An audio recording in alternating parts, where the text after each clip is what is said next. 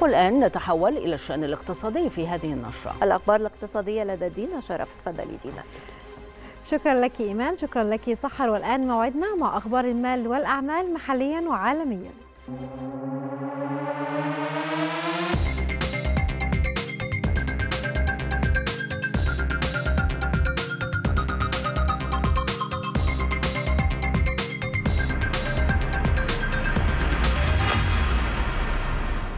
نفى المركز الإعلامي لمجلس الوزراء تقليص الدعم التمويني تزامنا مع الأزمة الاقتصادية العالمية.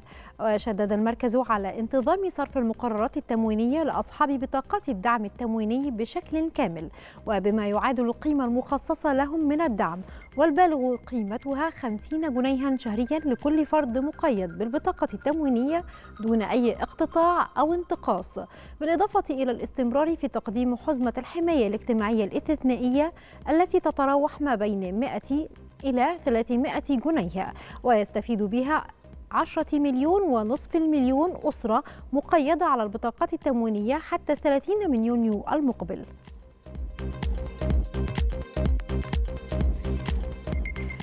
أكد وزير البترول طارق الملا أهمية التركيز خلال الفترة الحالية على التوسع وزيادة خطوط الإنتاج وقدرات تصنيع المضخات محليا في ظل الفرص المتاحة بقطاع البترول والغاز وتنامي مشروعات القطاع وأنشطته. جاء ذلك خلال لقاء وزير البترول مع رئيس إحدى الشركات الألمانية في مجال صناعة المضخات. لبحث سبل دعم وتعزيز أنشطة التصنيع المحلي للمضخات من خلال شراكة القائمة بين قطاع البترول والشركة في مصنع المصرية الألمانية للمضخات بالسويس.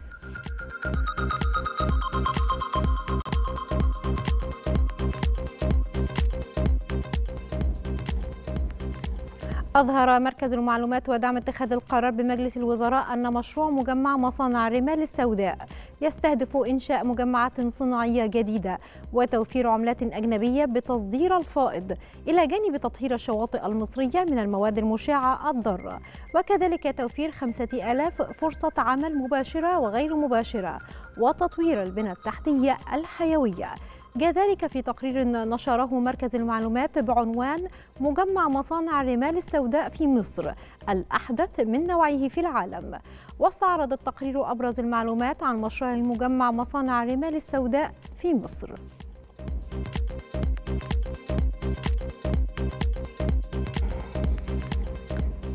وإلى سوق المال حيث أنهت البورصة المصرية التعاملات على ارتفاع جماعي للمؤشرات مدفوعة بمشتريات محلية أجنبية ووسط تداولات مرتفعة.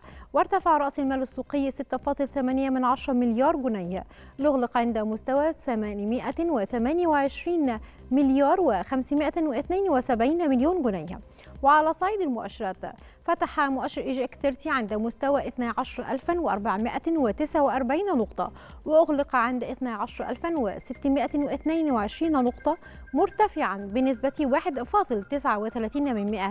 1.39% كما فتح مؤشر الشركات الصغيرة والمتوسطة EGX 70 عند مستوى 2397 نقطة وأغلق عند 2406 نقاط مرتفعا بنسبة 36% وفتح مؤشر EGX 100 عند مستوى 3484 نقطة وأغلق عند 3503 نقاط مرتفعا بنسبة 56%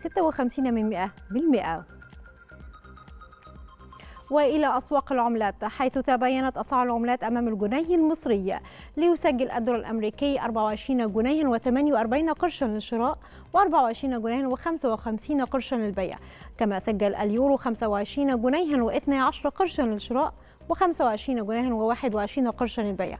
الجنيه الإسترليني سجل 29 جنيها و7 قروش للشراء و29 جنيها و16 قرشا للبيع. وبالنسبة للعملات العربية فقد سجل الدرهم الإماراتي 6 جنيهات و66 قرشا للشراء و6 جنيهات و68 قرشا للبيع. وأخيرا الريال السعودي سجل 6 جنيهات و51 قرشا للشراء و6 جنيهات و53 قرشا للبيع. وإلى أسواق المعادن النفيسة ارتفع سعر الذهب العالمي ليصل إلى 1745 دولارا للأوقية.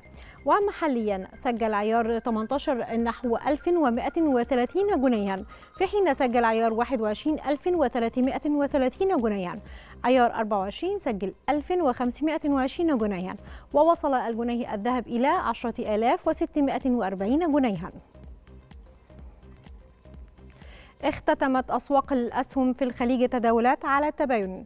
وأنهى المؤشر الرئيسي في السعودية خسائر استمرت ثلاث جلسات بدعم من ارتفاع أسعار النفط بعد نفي المملكة وجود محادثات لزيادة الإنتاج وارتفع المؤشر الرئيسي في السعودية 3 سهم بالم سهم عملاق النفط أرامكو 9 من 10% في المقابل هبط مؤشر قطر الرئيسي بنسبة 2 من 10% ليواصل تسجيل الخسائر للجلسة السادسة على التوالي.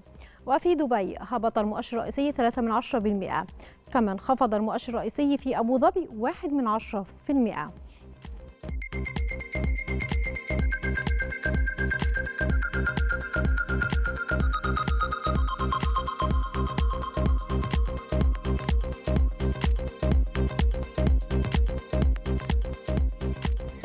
ختام أخبار اقتصاد وعودة مرة أخرى إلى أيمان وسحر إليكما. شكرا لك دينا شرف.